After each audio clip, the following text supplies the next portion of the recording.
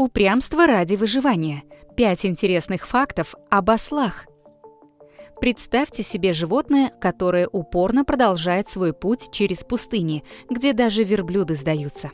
Оно выносливое, смелое и упрямое, как никто другой.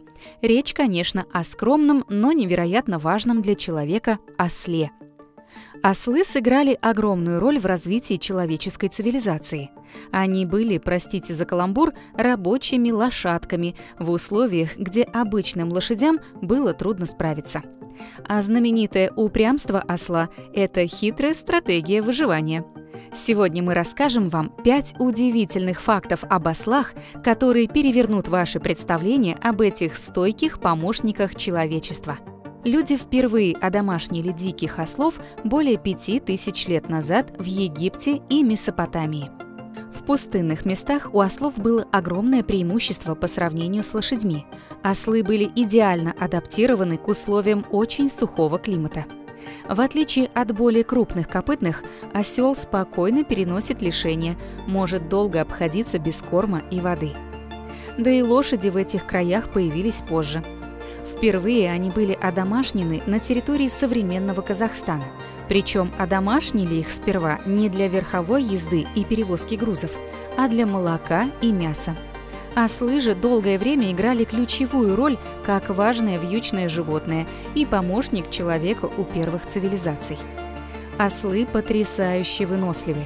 Они способны спокойно и долго вести груз до 65% от веса собственного тела – для сравнения, лошадь без ущерба для здоровья несет груз на уровне 20% от собственного веса. Ослиный рев выполняет важную функцию.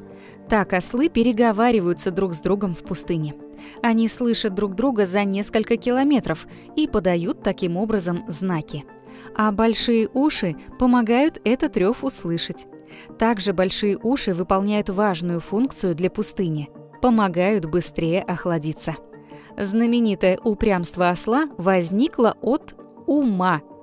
Ослы тонко чувствуют грани своих возможностей, и если им кажется, что их нагружают непосильными задачами, которые могут угрожать их здоровью, то ослы начинают упрямиться. Еще один важный плюс осликам – они редко паникуют – в отличие от лошадей, которые могут легко впасть в панику при приближении врага или непонятных звуках, ослы сохраняют хладнокровие и анализируют ситуацию. У ослов есть чувство юмора. Да, они копируют поведение других животных просто ради развлечения. В долгой дороге с ними не соскучишься. Это ослица из «Кавказской пленницы» и это из «Девятой роты». Одна и та же – а ведь между фильмами прошло 39 лет. Ослицу звали Люся, она жила в зоопарке Ялты.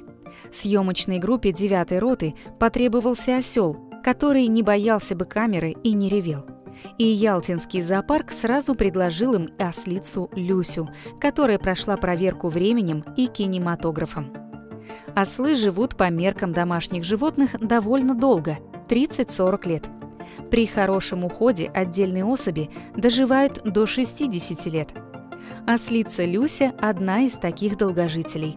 Она дожила до 59 лет.